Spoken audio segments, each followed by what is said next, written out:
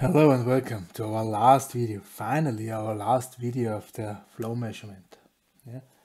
We're talking about Coriolis flow measurement.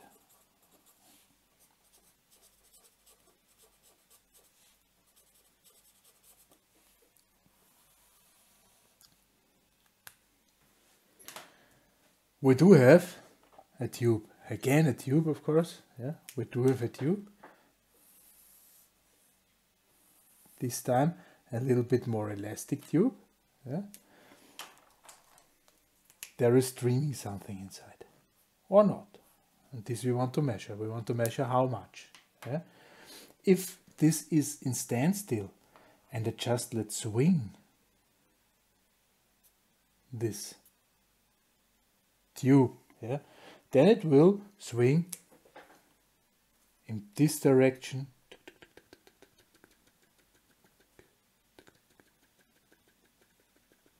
and then the other direction.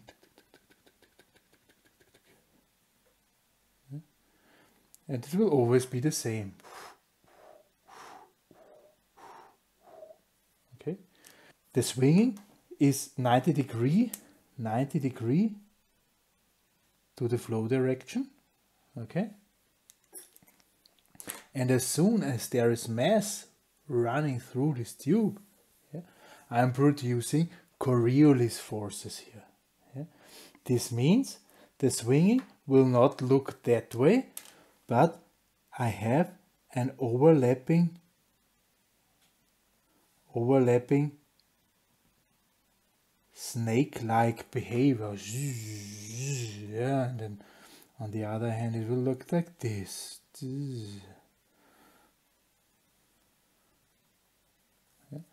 So this will not only swing, this will swing.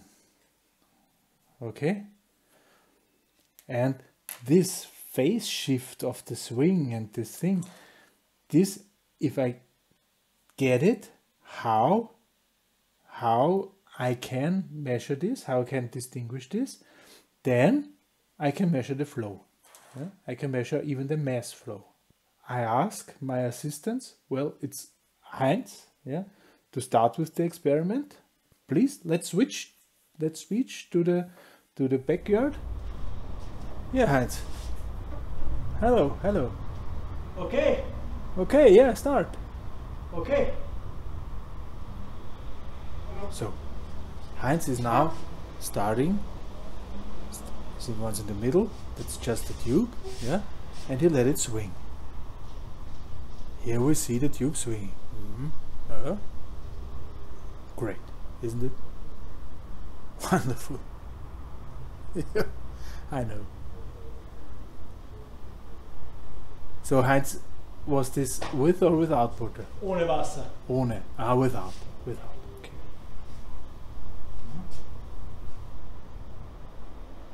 Okay, yeah. Let's start the water. Let's start the water, please.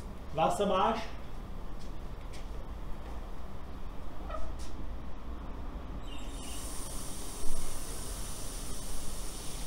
Okay, let's get rid of this, of this wobbling. Is it ruhig? Yeah, it's ruhig. And now start again, do the same thing, and it's swinging. Is it wobbling? Is it not wobbling? I wonder. Yeah. We did not really see if this is working or not. I'll try some fixes uh, on the computer with some slow motion and overlapping and we'll see if this is working better then. Okay? Maybe you have to do it again. Okay, so start. Yeah, we see it swings different. The the uh, thicker line, the thicker line, is the one with the Coriolis forces applied. You see there is some snake, I can see it very, very little. Yeah, there is some snake-like behavior compared to the thin, ghosty line. This is, this is the plain thing. Okay.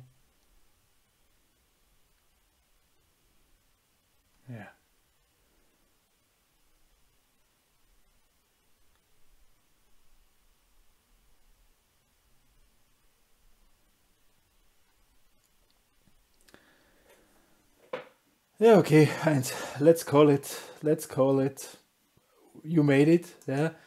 We could not see it very perfect, but at least we could get a hint that even with such, with such easy approach, it is possible to show this effect, yeah.